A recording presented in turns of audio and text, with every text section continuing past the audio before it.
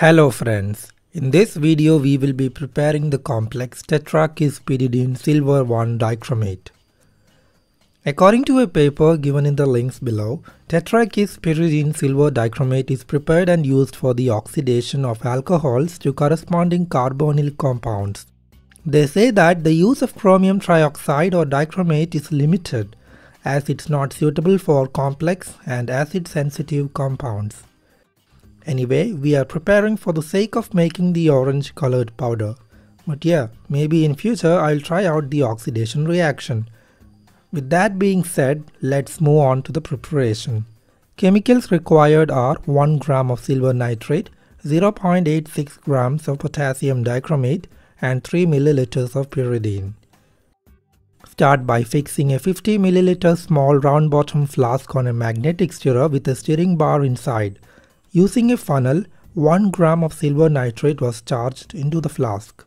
Then 5 milliliters of water was added and stirring was turned on in order to dissolve the compound. Silver nitrate easily dissolves in water.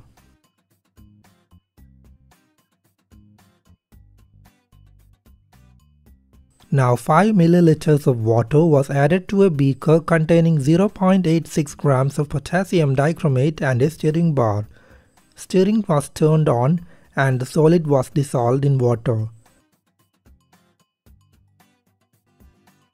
Now to the silver nitrate solution with stirring was added potassium dichromate solution. Immediately you see the formation of a deep red colored precipitate and this is the silver dichromate.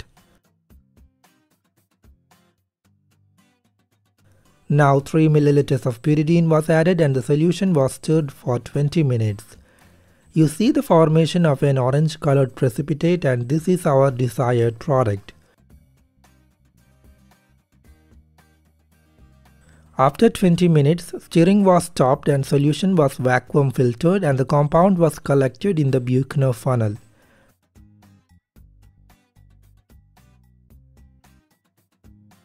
The product was washed several times with dry benzene.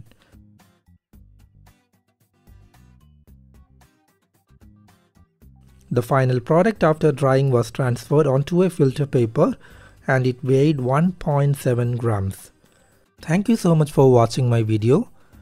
These are all my Patreon supporters who are financially supporting me so that I am able to purchase new equipments and chemicals required for doing new videos. You can also support me via Patreon or PayPal. The links of both of them are given in the description. For all those Indian subscribers who would like to support me financially, they can mail me via my email address and I will provide them with my UPI ID.